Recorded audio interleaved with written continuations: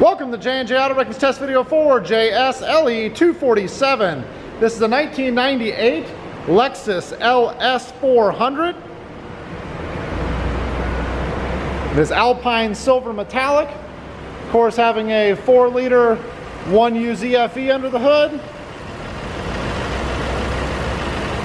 Running very smooth and quiet. Got a nice hood and grill on this unit. All the front end pieces are actually in really good shape.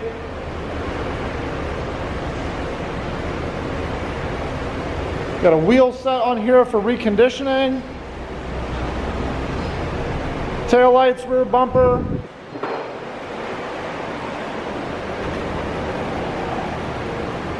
Take a step inside here.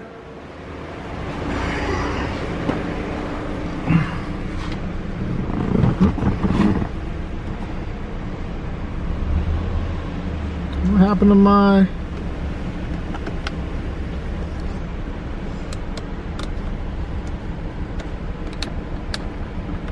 Well...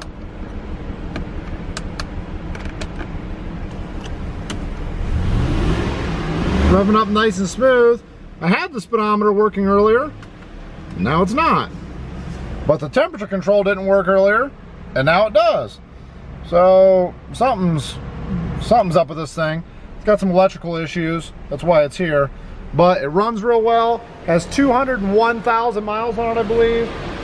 So the transmission working here.